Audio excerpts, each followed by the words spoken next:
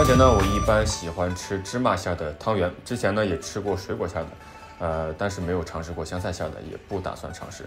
不是什么东西都是要香菜味的。好了，最后呢，祝大家元宵节快乐，团团圆圆，事事顺心。